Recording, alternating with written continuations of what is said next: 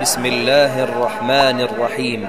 يسر الإدارة العامة للتوجيه والإرشاد بالمسجد الحرام أن تقدم لكم أعظم ركن من أركان الحج وهو الوقوف بعرفة. وقلنا إن الرسول عليه الصلاة والسلام بين لنا أعمال يوم عرفة وهي أعمال يسيرة جدا صلاة الظهر والعصر ركعتين ركعتين. ثم استقبال القبلة والتفرغ للدعاء حتى تغرب الشمس. ثم انصرف عليه الصلاة والسلام خلف الصخرات واستقبل القبلة وقام على راحلته يدعو الله. وقال للناس وقفت ها هنا وعرفة كلها موقف.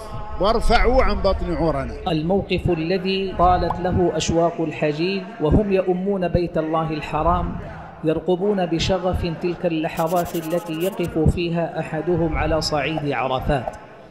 ويبكي هناك مع الباكين ويرجو هناك مع الراجين رجاء أن يكون فائزا مع الفائزين.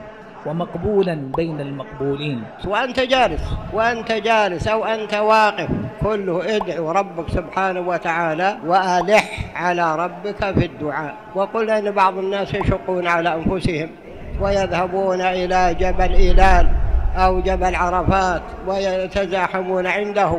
وهذا ليس من سنة الرسول صلى الله عليه وسلم. لكن أفضل الدعاء كما قال الرسول عليه الصلاة والسلام دعاء يوم عرفة.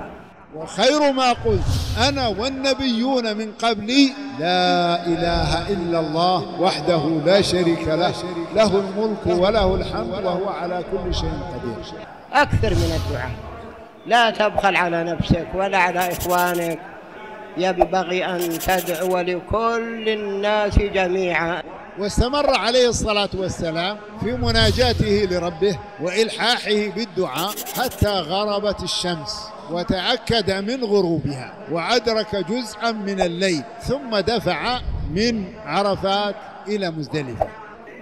فإذا وصلوا إلى مزدلفة صلوا بها المغرب ثلاث ركعات والعشاء ركعتين جمعا بأذان وإقامتين من حين وصولها سواء وصل في وقت المغرب أو بعد دخول وقت المغرب أو دخول العشاء.